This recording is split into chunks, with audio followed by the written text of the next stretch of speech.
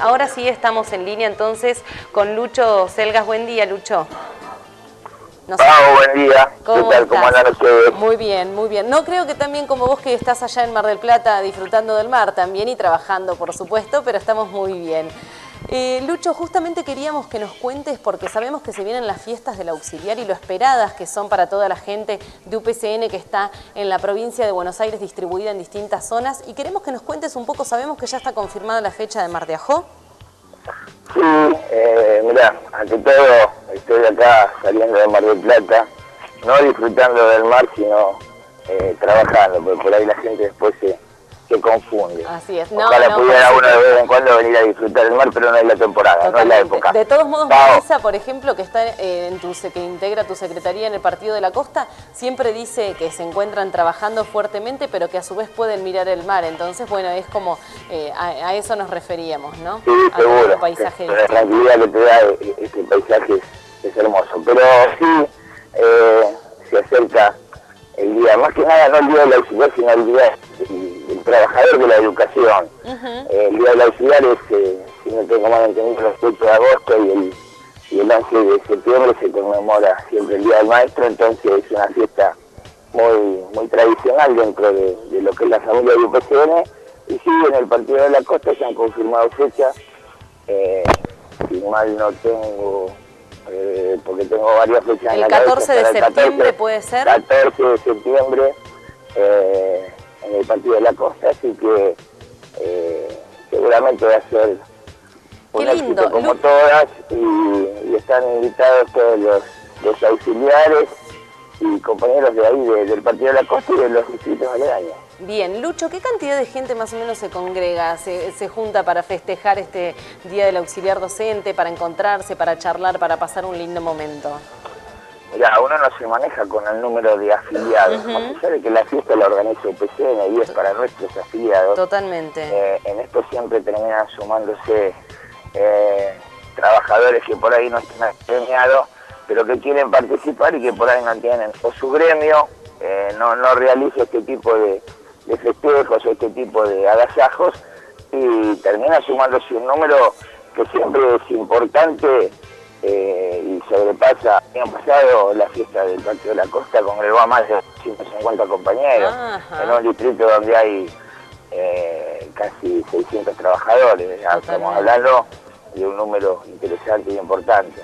Totalmente. Eh, pero bueno, es tradición, trabajamos para eso y siempre tratamos de no solamente brindar servicios, sino también en la imaginación y en la idea ir creando estos espacios para que la gente pueda tener un lugar donde recrearse, porque digamos que son localidades donde durante todo el año eh, solamente se desarrolla la tarea y se trabaja y por ahí tener este tipo de festividades siempre para la comunidad.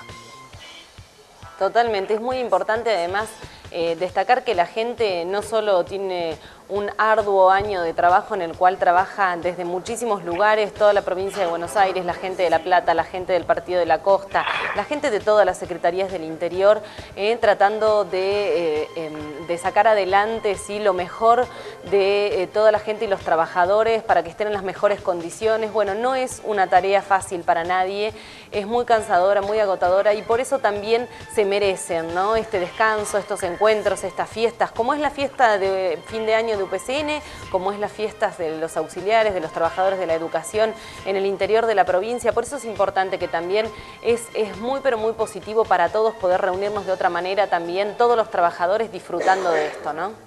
Sí, seguro.